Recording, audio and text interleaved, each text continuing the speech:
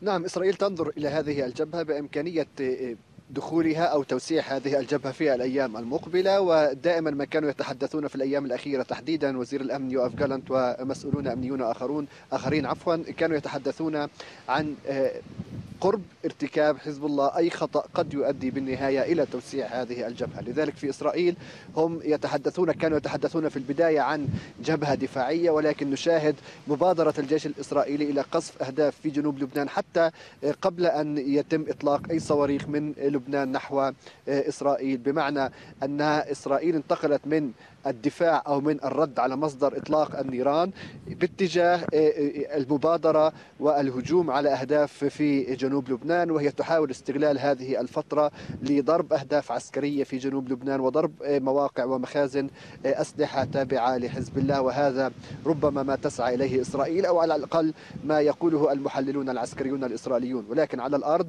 اليوم شاهدنا عدة هجمات. هذه الهجمات كانت في مناطق واسعة في مناطق في إن كان في مناطق شلومي في مناطق في الجليل الغربي خشية من تسلل مسيرات إسرائيلية من حزب الله نحو إسرائيل. إطلاق قرابة 25 قذيفة صاروخية من بينها قذائف هاون.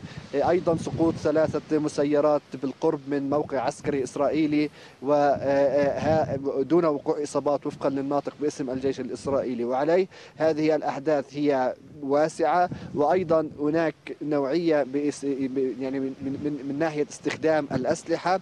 على ما يبدو أيضا هناك صافرات إنذار الآن تدوي في منطقة مسقاف عام وهي المنطقة القريبة جدا من كريات تشموني. إذا نتحدث عن صافرات إنذار تدوي حاليا في مسقاف عام وفي مناطق أخرى في الجليل الأعلى وهذه ليست المرة الأولى التي تدوي فيها هذه الصفارات هذا اليوم إذ دوت في وقت سابق في أفيفيم في برعام ومناطق أخرى وأيضا في كريات شمونة وشاهدنا تفعيل منظومة القبة الحديدية في محاولة للتصدي لعدد من هذه الصواريخ. نتحدث عن منطقة مسقاف عام وهي تقع مقابل منطقة كفر كلا في الجانب اللبناني. وعلى ما يبدو أن صافرات الإنذار هذه قد دوت حاليا ربما بسبب صواريخ أو خشية من تسلل طائرات مسيرة إذ دوت صافرات الإنذار في وقت سابق في مناطق أخرى. الآن أيضا هناك توسيع لهذه الصافرات الإنذار في أكثر من منطقة في الجليل الأعلى في منطقة بيت هلل وكفار قلعادي والمطلة والمنارة ومناطق أخرى إذ نتحدث عن أكثر من منطقة في الجليل الأعلى وإصبع الجليل. سنحاول تقريب الصورة من تلك المناطق أو على الأقل من المناطق المحيطة في كريات تشمونة إذا صافرات الإنذار تدوي في مزقاف عام خشية من إطلاق صواريخ وأيضا في تال حاي وكريات شمونة ومرقليوت والمنارة والمطلة وكفار يوفال وكفار قلعادي وبيت هلل جميع هذه المناطق تقع في إصبع الجليل وعلى ما يبدو هناك خشية من إطلاق صواريخ نحو تلك المناطق ولكن حتى اللحظة من مكان تواجدنا لا نرصد أي تفعيل للقبة الحديدية.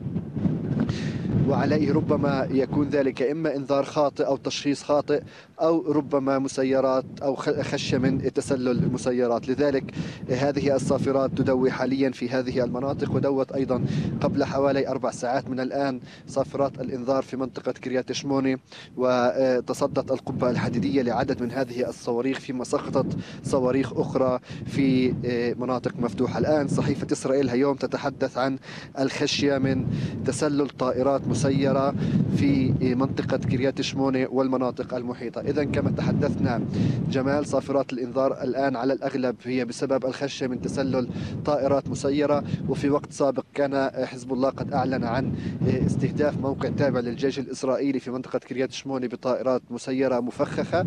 الجيش الإسرائيلي أقر بهذا الاستهداف وتحدث عن سقوط ثلاث مسيرات بالقرب من موقع عسكري إسرائيلي ولكن دون وقوع إصابات. ربما الحدث الأبرز أيضا هذا اليوم هو وصول عاموس هوكشتاين إلى إسرائيل. ليبحث الملف اللبناني.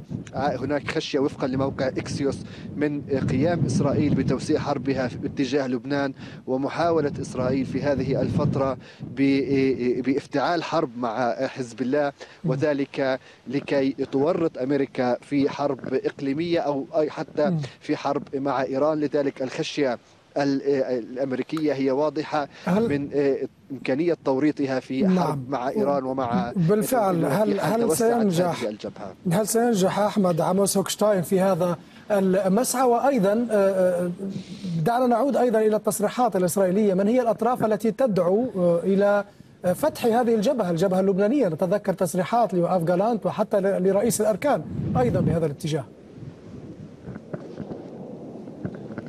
يعني الآن نستمع لأصوات طائرات حربية على ما يبدو هي طائرات من نوع F-16 إسرائيلية في سماء منطقة الجليل الأعلى على ما يبدو بسبب الخشية من تسلل طائرة مسيرة والتي دوت بفعلها طائرات صافرات الإنذار في أكثر من